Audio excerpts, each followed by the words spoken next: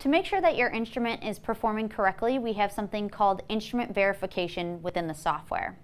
The instrument verification has four different tests.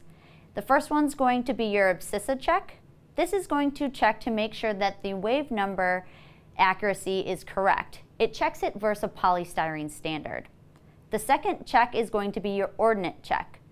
This check is against a Schott glass NG11 uh, piece of glass.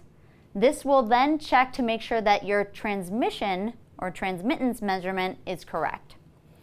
The third check is going to be the noise check. It's going to make sure that the noise falls with a nominal or limit level.